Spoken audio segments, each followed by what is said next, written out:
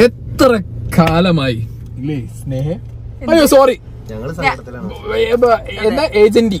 Agent ഈ കാറിലിരുന്ന് ഇന്റെ ചാനലിലിരുന്ന് എന്നെ കുറ്റം പറഞ്ഞ രണ്ട് വിത്തുകളാണിത്. പക്ഷെ thank you thank you Sneha. Thank you Abhilash അല്ല എന്നാലും വെറുതെ. ഇരുന്നോട്ടെ താങ്ക് യു ഞങ്ങൾ കഷ്ടപ്പെട്ടിരുന്നിട്ട് ഇപ്പൊ അവസാനം ഞങ്ങൾ ബാക്കിലായി കണ്ടോ? ഞങ്ങൾ ഇന്നലെ ഇവരോടൊക്കെ പറഞ്ഞാണ് നീന്തി കേറി പട്ടി ഞാൻ. ഞാൻ വരും ഞാൻ നീന്തിട്ട് ഞാൻ എങ്ങനെ പോയാലും ഞാൻ തിരിച്ചു വരും. നമ്മളെ സ്റ്റിയറിംഗും പോയി. സ്റ്റിയറിംഗും പോയി. ഇനി ഈ സ്റ്റിയറിംഗും ഈ മുന്നിലെ സീറ്റും ഇത് എനിക്ക് സ്വന്തം. ഐ ബാക്ക് പണപ്പെട്ടി ഞങ്ങൾക്കും. ഐ ബാക്ക് പണപ്പെട്ടിക്ക് വേറെ ആൾ വന്നിട്ടുണ്ട് എന്നൊക്കെ കേൾക്കുന്നുണ്ട്? ഞങ്ങൾ അതിനെ തട്ടിയെടുക്കാൻ നോക്കും. എവിടെ? ആ നന്ദനെ കൈ കിട്ടട്ടെ.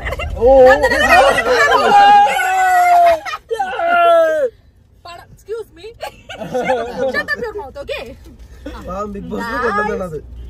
അതായത് അപ്പോ ഞങ്ങളിപ്പോ കൊച്ചിയിലാണ്. ഒരുപാട് കാര്യങ്ങൾ വ്യൂവേഴ്സിനോട് എനിക്ക് ഷെയർ ചെയ്യാനുണ്ട്. അപ്പോ ബിഗ് ബോസിന്റെ എക്സ്പീരിയൻസ് ഒരുപാട് കാര്യങ്ങൾ പറയാനുണ്ട്. ഞങ്ങൾക്കും. ഇവർക്ക് ഇവർ ഇവരെ വീഡിയോസ് ഒന്നും ഞാൻ കണ്ട് ഫുള്ള് തീർത്തിട്ടില്ല. അത് ഞാൻ ഇല്ല ഞാൻ മുഴുവൻ കണ്ടു തീർത്തിട്ടില്ല. ഇതിലും വലിയ ഇതിലും വലിയ ഒരു എന്താ പറയാ ഭാഗ്യം ആർക്ക് കിട്ടും? ഒരു ഭർത്താവിനെ ട്രോളാൻ വേണ്ടിയിട്ട് തന്നെ ഒരു ഭാര്യനെ ഞാൻ കൊണ്ടു നടക്കുന്നു. കട്ട് ചെയ്ത് വേറെ സെറ്റപ്പ് ഒക്കെ. കൂട്ടുകാരനും കൂട്ടുകാരൻ അതിലും വലിയ നല്ലവനായ ഉണ്ണി. വച്ചിട്ടുണ്ട്. എല്ലാവർക്കും വച്ചിട്ടുണ്ട്. വന്നിട്ടേ. ഐ എം ബാക്ക് അതെ. അപ്പോ എല്ലാവർക്കുമുള്ള പ്രധാന സംശയം അതായിരിക്കും. വൈ സായി കൃഷ്ണൻ വൈ കണ്ണൻ എന്നുള്ളത് നിങ്ങൾ ഒന്നും സംശയിക്കണ്ട. ഞാൻ എന്ന മനുഷ്യൻ ഞാൻ എന്ന ഹ്യൂമൻ ബീങ് എനിക്ക് എന്റെ റിയൽ ലൈഫിൽ ഞാൻ അതാണ്. സീക്രട്ട് ഏജന്റ് എന്ന് പറഞ്ഞ ചാനലിനകത്ത് ഇതേപോലെ റിയാക്ഷൻ വീഡിയോസ് ഇടുന്ന ടൈമിൽ മാത്രമായിരിക്കും നിങ്ങൾ സീക്രട്ട് ഏജന്റ് എന്ന് പറഞ്ഞ ഒരു എന്റിറ്റി ആ വേരിയന്റിനെ കാണുന്നത്. So that's a different variant Sai Krishna is a reality so അതിൽ നിങ്ങൾ ആരും കൺഫ്യൂസ്ഡ് ആവണ്ട. That is my personality and that's me okay secret agent എന്ന് പറഞ്ഞ ഈ ഒരു പ്രൊഫൈലിനകത്തിരുന്ന് പല കാര്യങ്ങളിലും ഇനി ഞാൻ റിയാക്ട് ചെയ്യും. എന്റെ പെർസ്പെക്റ്റീവ്സ് പറയും എന്റെ പോയിന്റ്സ് പറയും. പക്ഷെ പറയുന്ന കാര്യത്തിൽ ഓഡിറ്റിങ്ങിൽ ചെറിയൊരു മാറ്റം ഉണ്ടാവും. ഡെഫിനറ്റ്ലി ബിക്കോസ് എനിക്ക് എന്താ പറയുക ചില വീഡിയോസൊക്കെ ചെയ്യുന്ന സമയത്ത് ഞാൻ ആ, ഒരു പെർട്ടിക്കുലർ പേഴ്സൺ അല്ലെങ്കിൽ ഒരു പെർട്ടിക്കുലർ ഇഷ്യൂവിനെ വലിച്ചെടുത്ത് കൊണ്ടുവരുമ്പോൾ മോണിറ്ററി സൈഡ് മാത്രം അല്ലെങ്കിൽ അത് കൂടുതലായിട്ട് നോക്കിയിട്ട് വീഡിയോസിലേക്ക് ഞാൻ പോയൊരു മൊമെന്റ് എന്റെ ലൈഫിലുണ്ടായിരുന്നു ആൻഡ് ഡെഫിനറ്റ്ലി സീക്രട്ട് ഏജന്റ് എന്ന് പറഞ്ഞ ആ ഒരു വേരിയന്റ് എന്റെ റിയൽ ലൈഫിലും ബാധിച്ചു തുടങ്ങിയിരുന്നു. പക്ഷേ സീക്രട്ട് ഏജന്റിയും ജിത്തുബായും പഴയ പോലെ തന്നെ ഇപ്പോഴും ഉണ്ട് അവർ ശക്തമായിട്ടുണ്ട് അവർ. ഇപ്പൊ വേറൊരു സാധനം ഇറങ്ങിയിട്ടുണ്ട് നന്ദിനി. പെങ്ങളൂട്ടി. പെങ്ങളൂട്ടി. പെങ്ങളൂട്ടിക്ക് ഒരു ആ പാട്ട് പാടി പാട്ട് പാടി പാട്ട് പാടി പാട്ട് പാടി. കൊമ്പിലേരാ പാടി എന്നും നീ ഏട്ടന്റെ ചിങ്കാരി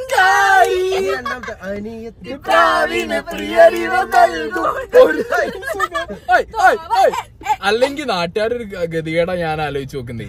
അനിയത്തിപ്രാവും ബാംഗ്ലൂർ ഡേയ്സ് ഒക്കെ കണ്ട് കൈയടിച്ച ആൾക്കാര് ഇവിടെ ഞാനും നന്ദനും സിജോയും കൂടി ഉള്ള ഒരു കോംബോ കണ്ടപ്പോഴത്തേക്കും കാർക്കിച്ച് തുപ്പു അതൊക്കെ- ഹിറ്റ്. നമ്മളെ കോംബോ ഫ്ലോപ്പ് ഞങ്ങൾക്ക് എന്താ കുഴപ്പം? ഞങ്ങൾക്ക് എന്താ കുഴപ്പം? കുറച്ച് കാട്ടുതീയായിട്ടാണ് പോകുന്നിട്ടുള്ളത്. ഇവിടെ കത്തിക്കാൻ വേണ്ടിട്ട്. സിജോനെ പറഞ്ഞ സിജോനെ പറഞ്ഞ പറഞ്ഞ- ഞങ്ങൾക്ക് ഇളകും. ആ ഞങ്ങളെ ചെക്കനെ പറഞ്ഞ ഞങ്ങൾക്ക് ഇളകും. അപ്പൊ കാട്ടുകയാണ് സിജോ ആ. പറയണമെന്നില്ല. അല്ലെങ്കിലേ കുറച്ച് ഇളക്കുണ്ട് ഇളകൊണ്ട് ഇരിക്കുകയാണ് തലക്ക് എന്തോ ഒരു പിന്നെ ഇവിടെ വേറൊരു വേറൊരു സാധനം രാവിലെ മുതൽ നടന്നുകൊണ്ടിരിക്കുന്നുണ്ട്. ഞങ്ങളത് മൈൻഡ് അടിക്കുന്നില്ല? ഞങ്ങളത് മൈൻഡ് അടിക്കുന്നില്ല. ഞങ്ങളത് മൈൻഡ് അടിക്കുന്നില്ല. നിങ്ങളെ ഓ. ജിത്തു. ആ അത് പറ പറ പറ പറ പറ പറ. അത് ഒഫീഷ്യലി ഞങ്ങൾ പുതിയ പാട്ട് വരെ അതിന് വേണ്ടിട്ട് ഇറക്കുന്നത് പന്നിത്തിപ്രവും മറ്റേത് വന്നിട്ടുള്ളൂ. ഒരു പുതിയ പാട്ട്. അതിന് അല്ല നമ്മൾ കണ്ടുപിടിക്കും. ഞങ്ങളൊരു പുതിയ പാട്ട് ഇറക്കുന്നുണ്ട് ഞങ്ങൾക്ക് ഉണ്ടാക്കും ഞങ്ങളീ പെങ്ങൾ തമ്മിലുള്ള ബോണ്ട് ഞങ്ങളുടെ ബോണ്ട് ഞങ്ങൾ ഇനി വളർത്തും. ഡയലാ പേര് കിട്ടി. ഇനിയിപ്പോ നമുക്ക് കൂടി വളർത്താം അഭിലാഷേട്ടാ? അതെ അതെ. അതെ അതെ. വളരെ നല്ല തീരുമാനം. തട്ടും. അത് അപ്പൊ ഓക്കെ അപ്പൊ ഇനി പെട്ടെന്ന് നമുക്ക് കുറച്ച് കാര്യങ്ങൾ നോക്കാം. എന്താണ് നിങ്ങൾക്ക് എന്നോട് ചോദിക്കാനുള്ള സ്നേഹ ആൻഡ് പോയി. നിങ്ങളുടെ ഒരു ചോദ്യങ്ങളായിരിക്കാം എനിക്ക് ഏറ്റവും കൂടുതൽ ഞാൻ ഫേസ് ചെയ്യേണ്ടത് എന്തുകൊണ്ട് സീക്രട്ട് ഏജന്റ് ആയില്ല അവിടെ? എന്റെ ലൈഫിൽ ഇപ്പൊ സ്നേഹയ്ക്കും ജിത്തുബായിക്കും ഒക്കെ അറിയുന്ന കേസാണ് ഇപ്പൊ ജിത്തുബായിക്ക് അച്ഛനായിട്ടുള്ള പ്രശ്നങ്ങളൊക്കെ കൂടുതലായിട്ട് അറിയുന്ന ഒരാളാണ്. സ്നേഹയേക്കാൾ കൂടുതൽ ഞാൻ ഒരുപാട് കാര്യങ്ങൾ ജിത്തുബായിനായിട്ട് ഷെയർ ചെയ്തിട്ടുണ്ടായിരുന്നു. പിന്നെ സ്നേഹം ഓബിയസ്ലി ഞാനും സ്നേഹയും തമ്മിലുള്ള ടേംസ് എങ്ങനെയായിരുന്നു ഇതിന് മുമ്പ് എന്നുള്ളതൊക്കെ സ്നേഹയ്ക്ക് കൃത്യമായിട്ടാണ് അതൊക്കെ ഞങ്ങൾ ലൈവായിട്ട് എല്ലാം കേട്ടു കണ്ടു. കാണുന്ന ആളുകൾ ഇതാവും പറയാം അതൊക്കെ ഞങ്ങൾക്ക് അറിയാം. അല്ല ഞാൻ അതൊന്നും ഞാൻ പറഞ്ഞാ പറയണ്ട. അല്ല പറഞ്ഞേ പറഞ്ഞല്ല അതുകൊണ്ടാണ് ഓക്കെ. സായി കൃഷ്ണൻ എന്ന് പറഞ്ഞിട്ടുള്ള ഒരു അതായത് ഞാൻ ഞാനായ ഒരു കാര്യം വേറെ ഒന്നുമില്ല എനിക്ക് അതിൽ ഇനിയിപ്പോ എന്താ പറയാ ഒരു ലക്ഷക്കണക്കിന് കോടിക്കണക്കിന് ആൾക്കാരെ എതിർത്താലും എനിക്ക് അതിലൊരു പുല്ലുമില്ല. ഓക്കെ ഓക്കെ ഇനി ഞാൻ എന്ന് പറഞ്ഞ ആ ഒരു സാധനത്തിന്റെ മുകളിൽ നിന്നാൽ എനിക്ക് നാളെ ജീവിതമുള്ളൂ. അല്ലാതെ എനിക്ക് വേറെ ജീവിതമല്ല. എന്റെ ലൈഫ് എനിക്ക് നമുക്ക് എല്ലാവർക്കും ഫാമിലി ഇമ്പോർട്ടന്റ് ആണ് ഫ്രണ്ട്സ് ഇമ്പോർട്ടന്റ് ആണ്. സോ അത് എനിക്ക് വേണം. മനസ്സിലായല്ലോ അല്ലേ? സത്യം. അതെ എനിക്ക് പെങ്ങളുണ്ടാ. പെങ്ങളുണ്ട് അതും. അതും ജാൻസി റാണിയെ പോലും ഓക്കെ അപ്പൊ നെക്സ്റ്റ് ക്വസ്റ്റ്യൻ എന്തെങ്കിലും ഉണ്ടോ? അല്ല എനിക്ക് എന്നെ സംബന്ധിച്ചിടത്തോളം ഈ എന്താ പറയുക എനിക്ക് ഫ്രണ്ട്സിന്റെ അടുത്താണെങ്കിലും ഫാമിലീന്റെ അടുത്താണെങ്കിലും ഒക്കെ അങ്ങനെയെന്ന് പറയുമ്പം ഉണ്ടായിരുന്ന കുറച്ച് പ്രശ്നങ്ങൾ എന്നല്ലാതെ നമ്മുടെ ഇടയിൽ നമ്മൾ അത്ര ബുദ്ധിമുട്ടുകൾ ഈ പറയുന്ന പോലെ നമുക്ക് അനുഭവിച്ചിട്ടില്ല. നിങ്ങളല്ല അനുഭവിക്കാന്ന് പറഞ്ഞാൽ രീതിയിൽ ഇങ്ങളല്ല പ്രശ്നം. ഞാൻ എനിക്ക് ആസ് എ പേഴ്സൺ ഞാൻ ഈ സംഗതി ഞങ്ങൾ ആ സായി കൃഷ്ണൻ എന്നുള്ള രീതിയിൽ ഉൾക്കൊണ്ടോണ്ടാണ് അതെ നിങ്ങൾ നിങ്ങളെന്താ നിങ്ങൾ അല്ലല്ല നിങ്ങൾ സായികൃഷ്ണൻ സായി കൃഷ്ണൻ എന്നൊക്കെ മാറിയിട്ട് ലേറ്റർ ഓൺ നിങ്ങൾക്ക് എന്തായി അറിയോ? ഞാനൊരു സീക്രട്ട് ഏജന്റ് എന്ന് പറഞ്ഞ സാധനത്തേക്ക് തന്നെ ആയിപ്പോയി. എനിക്ക് നിങ്ങളൊക്കെ വർത്താനം പലപ്പോഴും തോന്നിയിട്ടുണ്ട്. പണ്ടത്തെ ഒരു അഭിയോ അല്ലെങ്കിൽ പണ്ട് വർത്താനം പറയുന്ന പോലെ അല്ല എന്നോട് എന്ത്? നിങ്ങളൊന്നും വർത്താനം പറഞ്ഞിട്ടുണ്ടായിരുന്നത് ഈവൻ സ്നേഹയാണെങ്കിൽ പോലും ആ ഒരു ഞാനും സ്നേഹയും കല്യാണം കഴിച്ച് ലൈക്ക് അതിന്റെ മുമ്പുണ്ടായിരുന്ന ഒരു പ്രേമിച്ച സമയത്ത് ഉണ്ടായിരുന്ന ആ ഒരു എന്താ പറയാ നമ്മളെ വാവവിളിയും കാര്യങ്ങളും ഒന്നും ഇല്ല അതൊക്കെ പോയി. ചത്ത്. അതങ്ങനെയാണ് കണ്ണാപ്പി. വാവേ വാവേ ആ, അതിനെന്താ വിളിക്കും? ഞാൻ വാവേന്ന് വിളിക്കും. വാവേ. വാവമോൾ മോൾ എന്തടി? ആ, ഞാൻ- വിളിക്കും. ആ, ഇതിനിടയിൽ കൂടി വേറെ വേണ്ട. ഇടയിൽ കൂടി വേറെ വേണ്ട. അപ്പോ സി ബേസിക്കലി അത്രേ ഉള്ളൂ. അല്ല വേറെ കൂടുതൽ കോംപ്ലിക്കേഷൻ ഒന്നും നിങ്ങൾക്ക് വേണ്ട. സി ഇനിയിപ്പോ നാട്ടുകാർക്ക് സീക്രട്ട് ഏജന്റിനെ കണ്ടേ പറ്റുമെന്നുണ്ടെന്നുണ്ടെങ്കിൽ ഈ ചാനലിൽ കുത്തി കയറിയിട്ട് വീഡിയോ കണ്ടാൽ മതി. എന്നിട്ട് പണ്ടത്തെ പോലെ തന്നെ തെറി വിളിച്ചു തുടങ്ങിക്കോ. ഐ ഡോണ്ട് കെയർ ഓക്കെ ഞങ്ങളെ പക്ഷെ പഴയ പോലെ തന്നെ ഉള്ള ആൾക്കാർ തന്നെയാണ്. ഞങ്ങൾ കുറച്ച് സ്ട്രോങ് ആയി. ഞങ്ങൾ ബിഗ് ബോസ് പോകാത്തോണ്ട് ഞങ്ങൾക്ക് ചേഞ്ച് ഒന്നും വന്നിട്ടില്ല. അല്ല എനിക്ക് ആ പ്ലാറ്റ്ഫോമിൽ തന്നൊരു ചേഞ്ച് എന്ന് പറഞ്ഞാൽ അതിഭീകരമാണ്. കാരണം അല്ല സത്യം. സത്യം. സത്യം ഭയങ്കര ഭയങ്കര ചേഞ്ച് എനിക്ക് കിട്ടിയത് കാരണം അതിന് ഞാൻ ഞാൻ സ്വന്തമായിട്ട് റിവ്യൂ ഇടാൻ പഠിച്ചു.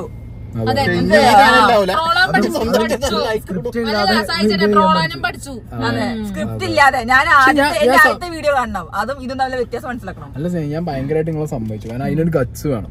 ഇപ്പൊ ഞാൻ അകത്തുള്ളപ്പോ നിങ്ങൾ ഞാനാണ് അകത്തുള്ള എനിക്ക് ഹസ്ബൻഡ് അകത്തുള്ള നിങ്ങൾക്ക് ഫ്രണ്ട് അകത്തുള്ള എന്ന് പറഞ്ഞിട്ട് കാര്യങ്ങൾ വേണമെന്ന് വളച്ചൊടിച്ച് മറിച്ചൊക്കെ പറയാൻ പറ്റും. പക്ഷെ നിങ്ങളത് പറയും ഞാൻ കണ്ട ഒന്ന് രണ്ട് വീഡിയോയിൽ നിങ്ങളൊന്നും പറഞ്ഞിട്ടില്ല. നിങ്ങൾ പറഞ്ഞതൊക്കെ ഈ പറഞ്ഞ പോലെ നിങ്ങൾക്ക് എന്താണ് ജെനുവിൻ ആയിട്ട് ഫീൽ ആയ കാര്യങ്ങളാണ് നിങ്ങൾ പറഞ്ഞിട്ടുള്ളത്. That's good thank you thank you I I appreciate I really thank you കായ് ഇപ്പൊ തരുന്നറിയ ഏ കായ് ഓ, ഓ, ഓ. ഈ കാ- ഇത് കൊണ്ടിടുന്നേനെ ആൻഡ് പിന്നെന്താ പറയാ പിന്നെ പിന്നെ സ്നേഹ വന്നിട്ട് എന്റെ എന്നെ മരവാഴയാക്കി വാഴയാക്കി പോയൊരു സംഗതി ഉണ്ടായിരുന്നു. ഇന്ന ഇത് ഇന്നെ ഇന്നെ പറഞ്ഞിട്ട് പോയതിൽ അതിന് ഒരു താങ്ക് യു സ്നേഹ. നന്നായി. നന്ദിയുണ്ട്. കുറെ തിരിച്ചറിവുകൾ എനിക്ക്. പോയല്ലോ. പിന്നെ പിന്നെ കുറെ കാര്യങ്ങൾ പറയാൻ ക്യൂ ആൻഡ് സെഷൻ വെച്ചാൽ ക്യൂ ഒന്നിലേയും ക്യൂ ആൻഡ് വെക്കാം അല്ലെങ്കിൽ ഞാൻ ഏതെങ്കിലും ഒരു ചാനലിൽ ഞാൻ ഒരു ഇന്റർവ്യൂ ഒന്നോ രണ്ടോ ഇന്റർവ്യൂ ഞാൻ കൊടുക്കും. കുറെ കൊടുത്ത് ഞാൻ മടുപ്പിക്കില്ല.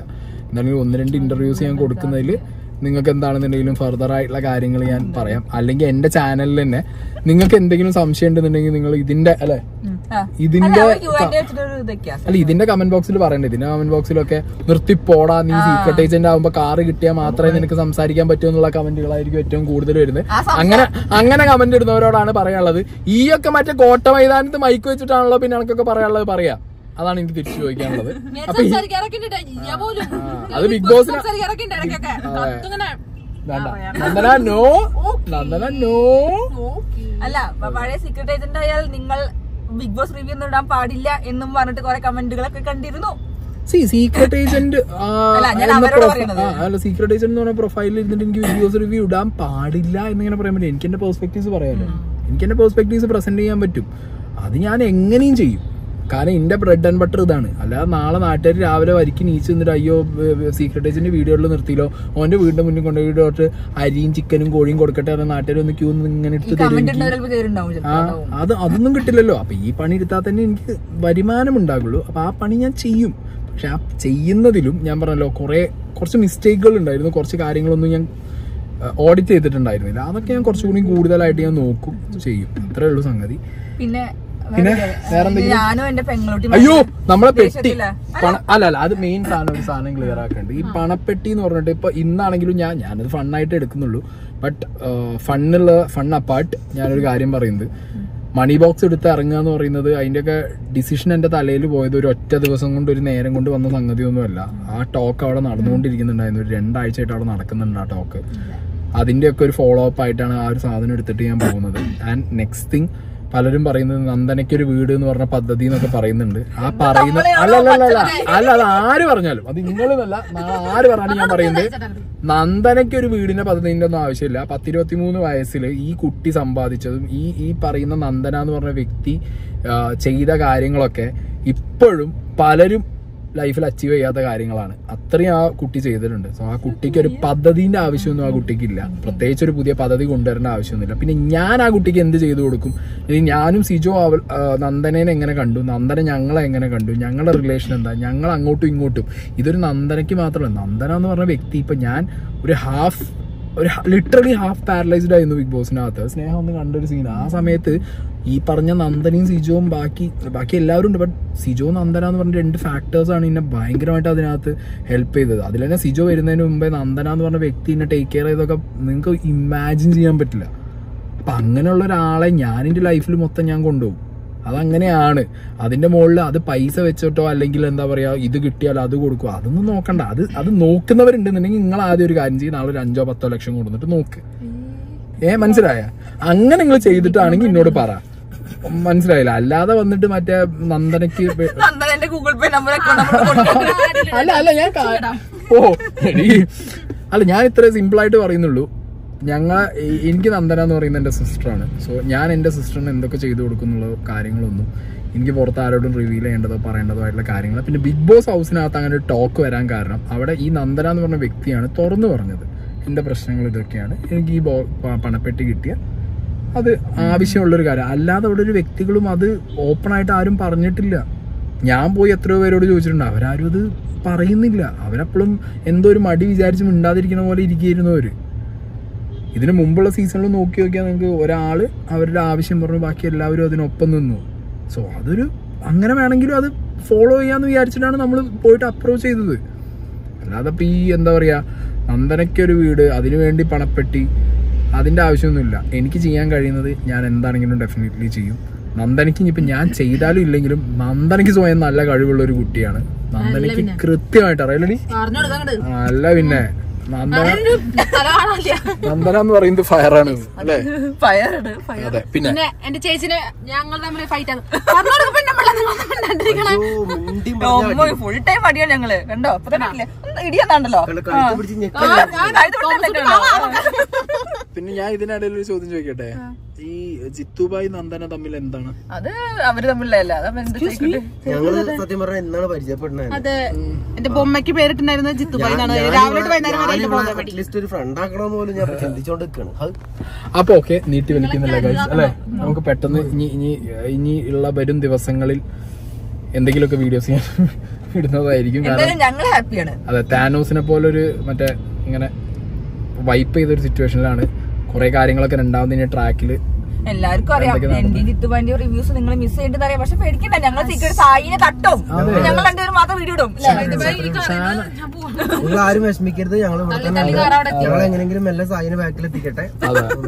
അതെ. നടക്കുന്നു. നോക്കി. നല്ല പറഞ്ഞു നോക്കി. ഓക്കെ? അപ്പൊ okay guys bye bye bye guys